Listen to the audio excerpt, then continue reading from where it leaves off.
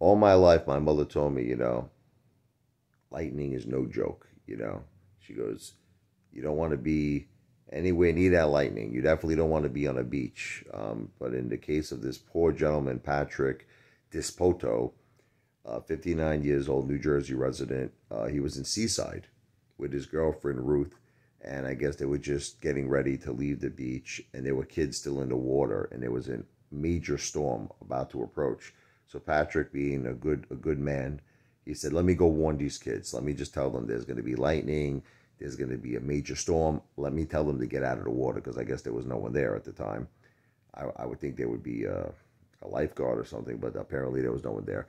So Patrick went back, and his girlfriend was screaming at him. She's like, "It's it's too bad the weather. You know, just stay in the car with me. Stay in the car." He's like, "No, I can't. I gotta go help those kids." He's a good man. God bless him.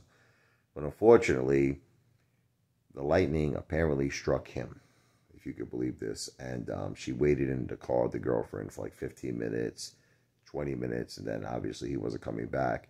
She went back to the beach and she found him face down in the sand. And I guess um, there were some people trying to help him, you know, giving him CPR. And uh, fortunately, he was pronounced uh, dead. And they said the cause of death was lightning. I don't know. Freaking crazy. Here's this guy trying to help kids, trying to help them, and he gets killed. Absolutely terrible. Absolutely terrible. He was a good man, this guy. God bless him. May he rest in peace. You were a good person. You were trying to do a good thing. It's terrible that that had to happen to you. God bless you and God bless your family. It's terrible.